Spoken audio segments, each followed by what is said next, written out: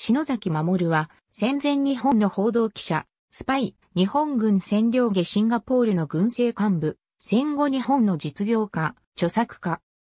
シンガポール陥落後、戦績を視察する山下将軍らと、篠崎湘南警備隊司令部嘱託湘南特別市、教育課長湘南特別市、厚生課長英軍通訳、抗日活動に関わっていないとする証明書を大量に発行することにより、日本軍の憲兵隊による監視を逃れ命を救われた人々が多数存在することから、日本のシンドラーと呼ばれる。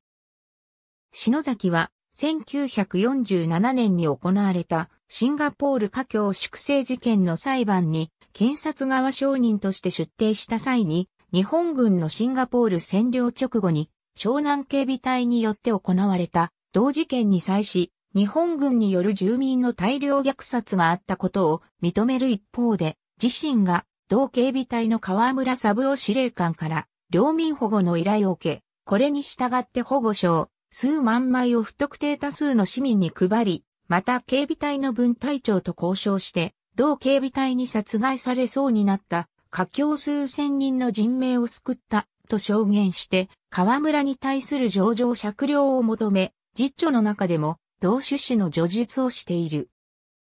また篠崎は、実著の中で、華僑協会は、華僑の除名を促すために自身が設立した団体で、同協会は、華僑強制献金を推進した団体と思われているが、当初は性格が異なり、自身は強制献金には関与していなかったとしているが、原は、華僑協会はシンガポールでの設立以前にマレー半島の他の都市でも設立されており、また、篠崎の著書では、教会が強制献金を推進した時期が歪曲されていて、篠崎が教会に関与していた教会の設立当初から、教会は強制献金を推進していたとして、篠崎を批判している。